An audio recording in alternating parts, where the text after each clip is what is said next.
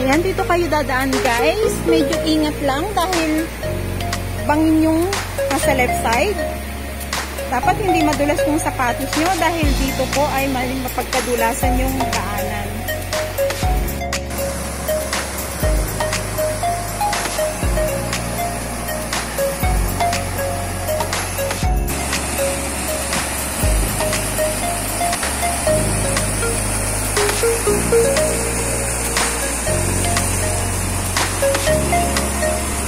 Napakalinaw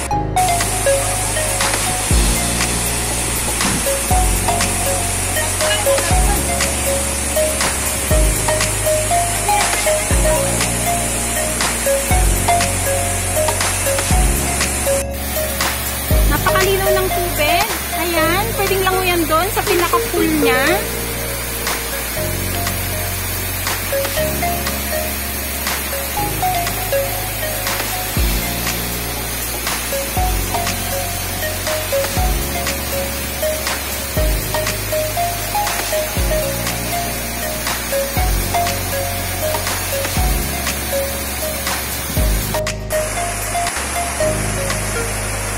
Sabi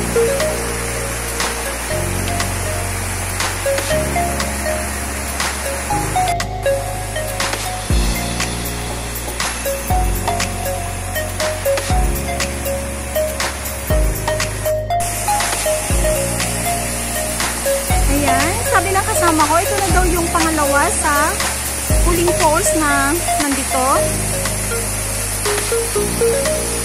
Maganda siya guys. Ayan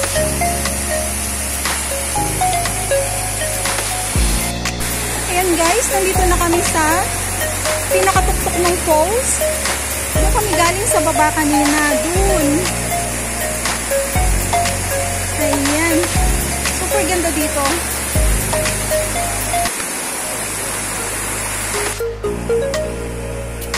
Napakasarap ng languyan dito guys. As in, mag enjoy talaga kayo.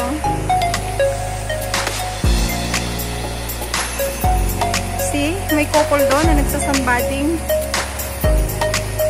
Ayan guys, on the way. Ito yung madadaanan nyo. Kasi wala namang ibang way talaga. So kapag baka hindi kayo pwedeng pumunta dito, dapat yung walang ulan lang, walang baka. Kasi magsusubsob kayo ng ilog.